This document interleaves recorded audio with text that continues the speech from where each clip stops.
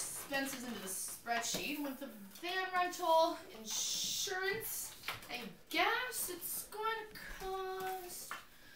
Oh my god! What are we gonna do? It's impossible! Maybe we shouldn't have spent the whole band fund on the virtual reality machine.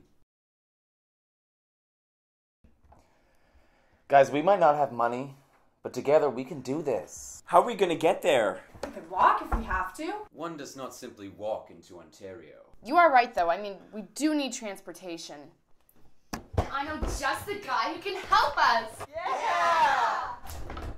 I think with the sail modifications and the biofuel add-on, this could work. How much did you say your budget was? Oh boy, this isn't going to work. A project like this takes a huge investment.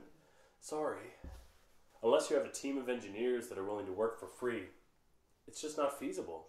We have my hammer! And my sword! And my axe. All right then, we worked.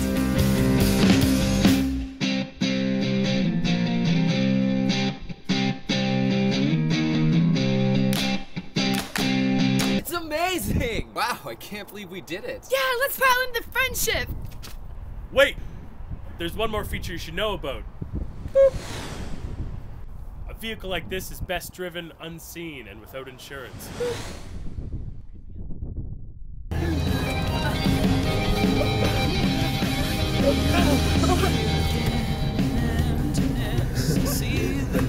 Do they know that it's not cloaked?